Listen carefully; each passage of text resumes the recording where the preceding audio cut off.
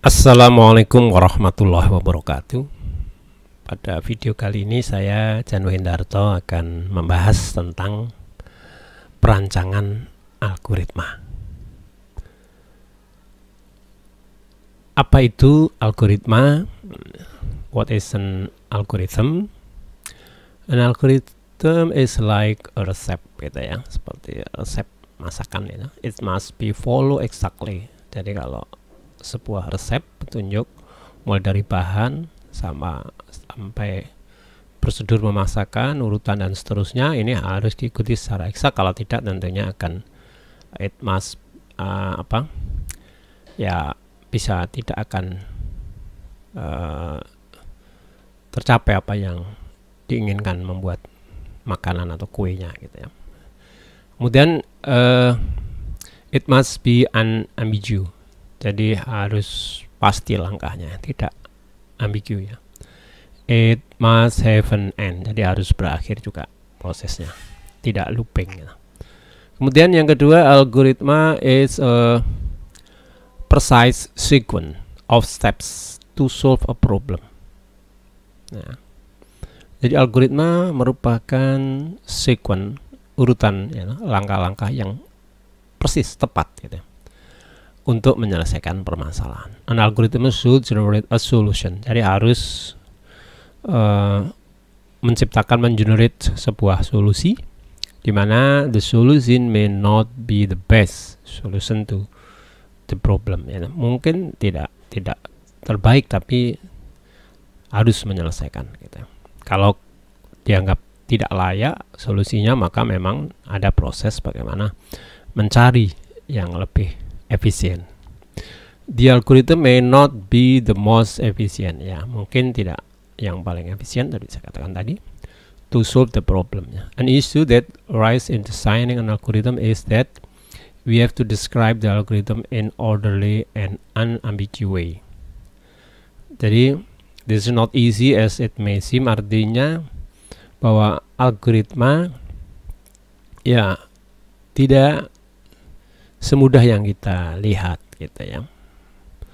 Untuk mendapatkan apa sequence of step tadi dan harus define it atau unambiguous maka itu urutan dan seterusnya. Kadang-kadang bagi seorang beginners seorang pemula atau tergantung permasalahannya itu juga akan terlihat susah begitu ya akan tetapi kita tetap optimis. Kita harus bisa ya, menyelesaikan permasalahan yang dihadapi oleh manusia ini. Sekarang tentang designing algorithm. Bagaimana merancang algoritma? Algorithm tentunya menentukan the right stepnya, determine the correct order of step, follow the step completely, ya. Kemudian uh, verify that the algorithm is working. Tadi harus divalidasi. Ini uh, review saja ya menentukan step yang benar urutannya yang benar langkah-langkahnya dan lengkap. Kemudian harus valid betul untuk semua input yang mungkin dan kemudian uh, menentukan usahakan merupakan solusi yang terbaik kita gitu. atau menghitung uh, kompleksitasnya, kompleksitas atau efisiensinya, baik uh, time complexity maupun space complexity-nya. Ke depan seperti itu. Ada beberapa contoh permasalahan. Nanti di dalam contoh ini ada dua permasalahan tentang uh, designing algorithm, ya, bagaimana menemukan merancang sebuah algoritma. A simple but audited example of ya compare brute force and divide and conquer algorithm ya. Jadi ini nanti akan kita bahas uh, bagaimana mendapatkan algoritma secara brute force, secara apa yang dapat kita lakukan di situ dengan yang sudah menggunakan cara decomposition yang antara lain adalah namanya DNC ini divide and conquer yaitu kita menggunakan binary search nanti. Ini sebuah permasalahan the problem of looking up a name in the phone book ya. Jadi ini permasalahannya I know that you have probably never had to do this in your life. Jadi untuk anak-anak sekarang tentunya tidak pernah merasakan bagaimana harus mencari nama yang akan kita hubungi dalam dengan menggunakan telepon pada waktu itu. Teleponnya telepon kabel tentunya. Kita diberikan namanya buku telepon itu buku telepon yang tebal yang halamannya bisa ribuan begitu. Untuk mencari nama dalam sebuah buku telepon misalkan di sini contohnya Mike Seaport ini maka kita bisa ya mengikuti uh, algoritma mencari ya dalam arti mencari nomor teleponnya kan ya. Bagaimana cara menemukannya? Kita tahu bahwa buku telepon ini urut secara uh, nama begitu ya, nama dari A sampai Z ya. ya.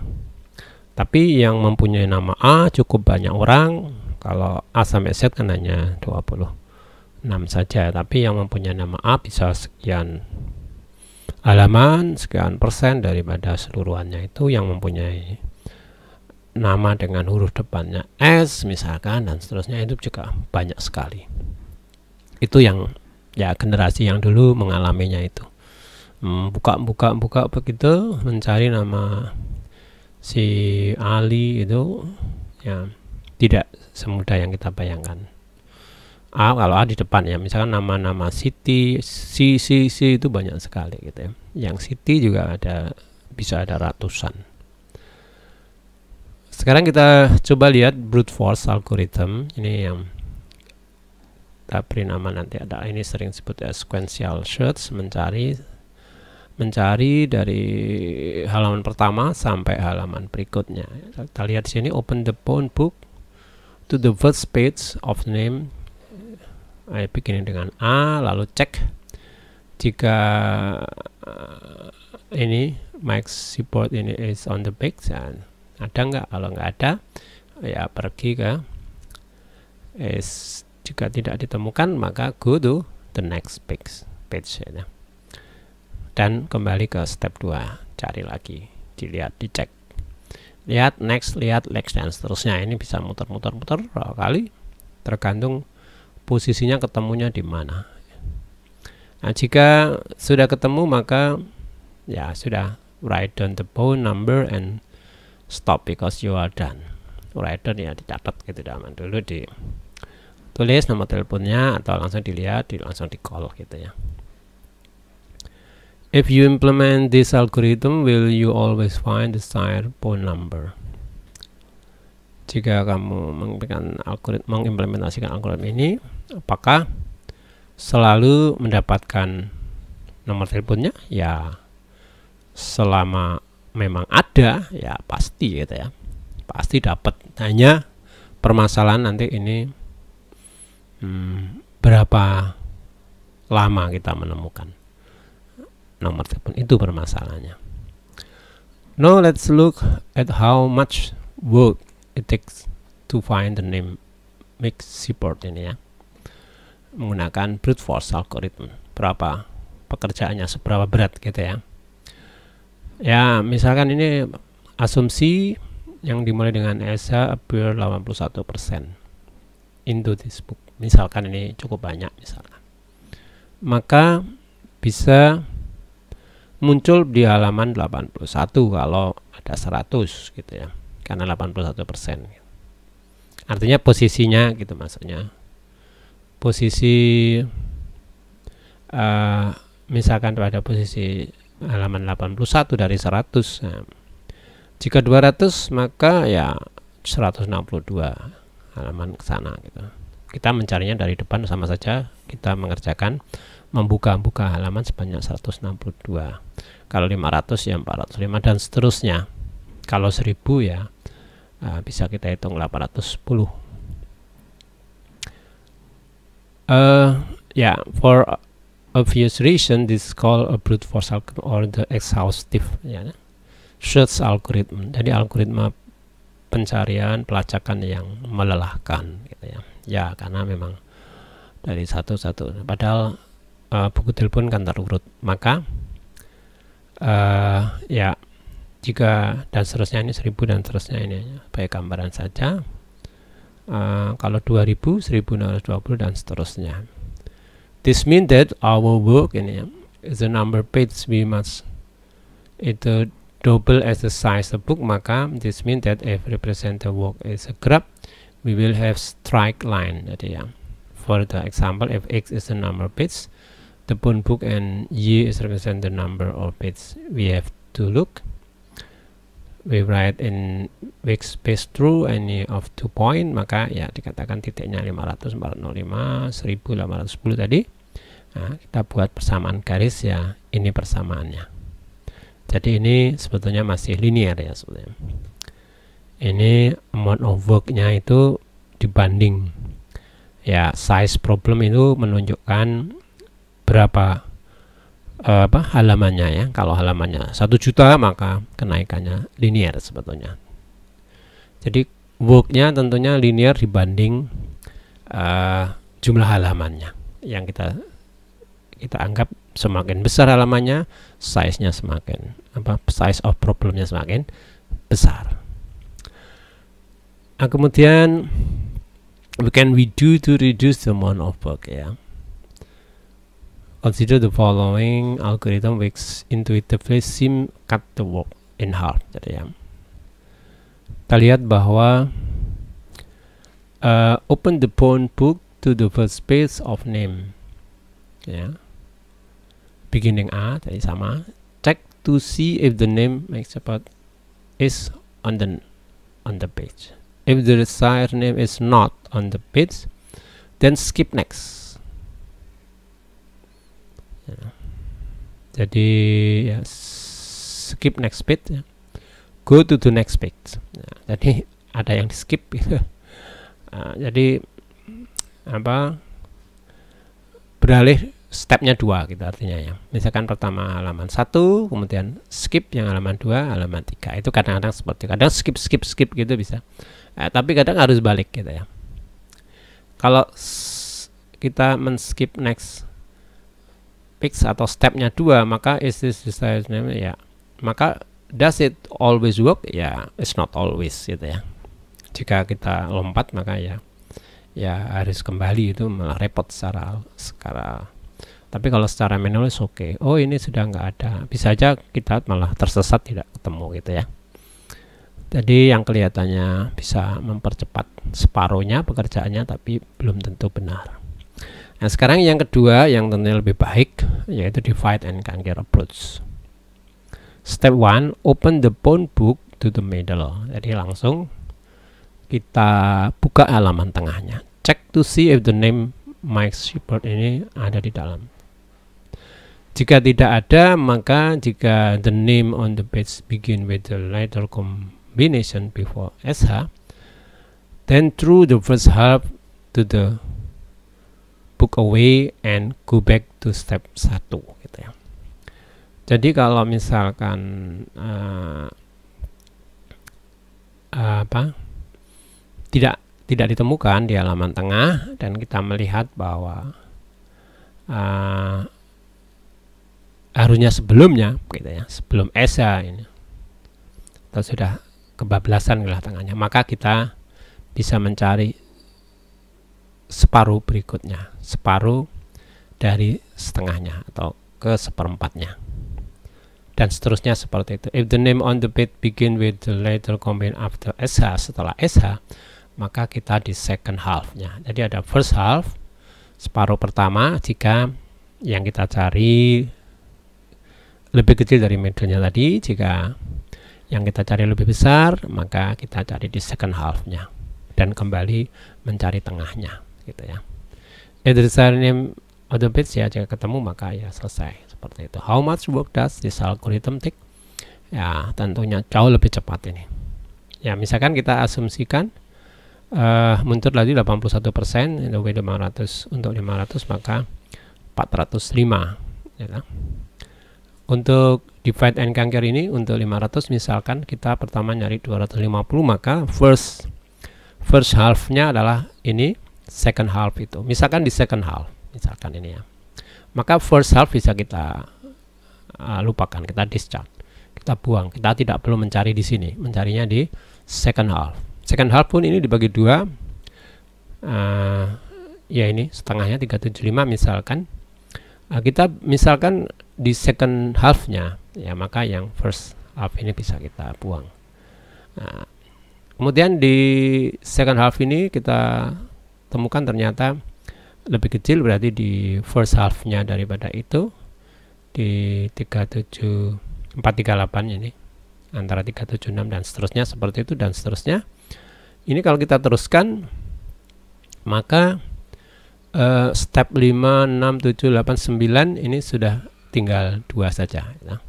404 405 di situ. Now what happen if the phone book double size of ya jika 1000 maka bisa kita gambarkan jika 500 seperti ini pembagiannya. Tadi setengah setengah setengah setengah. Gampangannya seperti itu ya. First half terus semuanya gitu.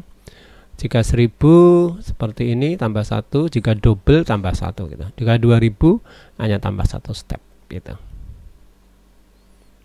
Ya bisa kita bayangkan seperti itu.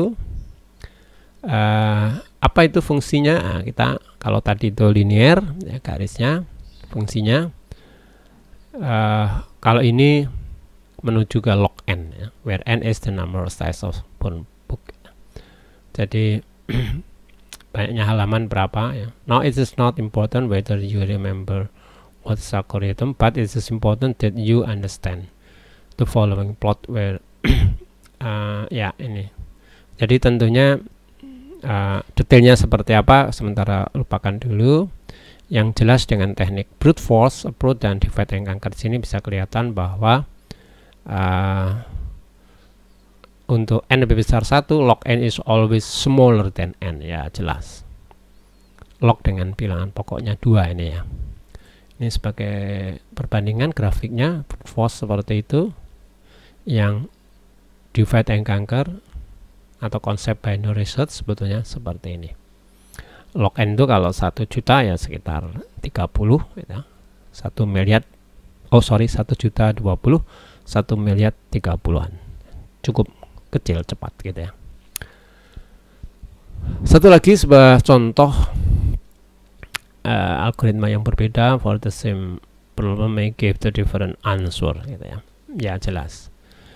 Jadi untuk satu permasalahan yang sama, algoritma yang berbeda bisa memberikan solusi yang efisiensinya dan solusinya berbeda jelas. Jawabannya berbeda, bisa kita menilai kita nanti. Ini sebuah permasalahan ya, suppose you are packing your backpack for a hike but you have uh, 6 item jadi kita mau menuju apa ya hike gitu ya mendaki misalkan kita mempunyai 6 item 6 objek 6 item ini yang ingin kita bawa ya. tetapi eh, total beratnya 96 ABS ini ya padahal eh, maximum weight you are willing to carry is ya kapasitas backpacknya itu adalah 50 lbs you sign its item important value. Nah, bagaimana permasalahan ini bisa diselesaikan? Ya tidak mungkin kita bawa semua. Ada aturannya maksudnya ada kapasitas. Nah, ini sementara volume tidak kita hitung berat gitu aja. Berat maksimumnya adalah 50 lbs ini. Kemudian totalnya kalau dibawa semua segitu maka kita harus memilih ya. ini problemnya adalah menentukan memilih objek item yang mana yang harus kita bawa gitu ya. Tentunya dengan cara ini sedikit ada value ini penting untuk men menilai bahwa item-item itu harus dikasih value. Seberapa penting untuk keperluan hikingnya nanti gitu ya. The higher the number the more valuable ya jelas semakin besar. Misalkan ini paling valuable paling bernilai tentunya 25 item B ini. Nomor 2C nomor 3A nomor D dan seterusnya. Paling tidak diperlukan adalah F. Tapi masing-masing mem mem mempunyai uh, apa? Weight berat gitu ya beratnya. Uh, kecil ya bisa aja yang yang bernilai itu besar dan seterusnya. Misalkan seperti ini hanya contoh. Bagaimana what item should you take? Ya, tolong bantu memilihkan item mana yang harus kita pilih gitu ya kita ambil kita bawa. Ada tiga algoritma ya minimal. Ada tiga bisa banyak. Yang pertama algoritma satu random ya. for the first algorithm we simply pick an item at random and put it in the backpack ya. Random asal aja ngambil. We then weigh the backpack and if the weight weightnya kurang dari 50 ini then we pick another item. Jadi kalau masih kurang tambah ambil lagi ambil lagi. Bagaimana jika lebih? Gitu? if a weight more than 50 ini maka kita remove yang last item yang terakhir tadi kita kita apa? Nggak jadi ya kita ambil lagi dan try coba item yang lain. Jika kita masukkan kok masih lebih besar 50 kita turunkan lagi. Ambil lagi. Gitu ya. Jadi yang tersisa maksudnya ambil yang belum terambil. Nah, oh kok ternyata masih lebih kecil bisa nambah lagi. Sampai selesai sampai tidak ada lagi yang diambil dan uh, bisa kita bayangkan seperti itu. Jadi kalau kita dituliskan step 0 ini put all item in the selection pile ya seolah-olah. Ditaruh di sebuah tempat kemudian if there is any item in the selection jika masih ada maka diambil. Secara random aja acak ngambil aja lah from the selection file and put into the backpack. If there is no item left in selection file you are done. Selesai. Kemudian uh, jika kurang dari 50 tadi go to step 1 lebih besar 50 jika 50 pas selesai. Jika lebih besar maka remove item backpack and from the lesson kemudian kembali ke satu ngambil lagi dan seterusnya. Seperti yang saya ceritakan tadi itu The strategy behind this algorithm is randomness, ya, strateginya random. It can generate any possible solution. Jadi kalau kita list kemungkinannya we have performed it many it many times. Ya, jadi ini sebagai gambaran kalau kalau acak itu ya banyak kemungkinan ya bisa kemungkinan ACF, ADE, ADF, BDE, BDF, B, C, F dan seterusnya ya.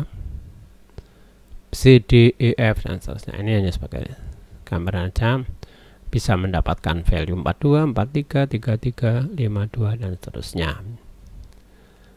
Apakah yang paling optimal the bestnya adalah 53 misalnya di sini? Ya belum bisa, bisa juga.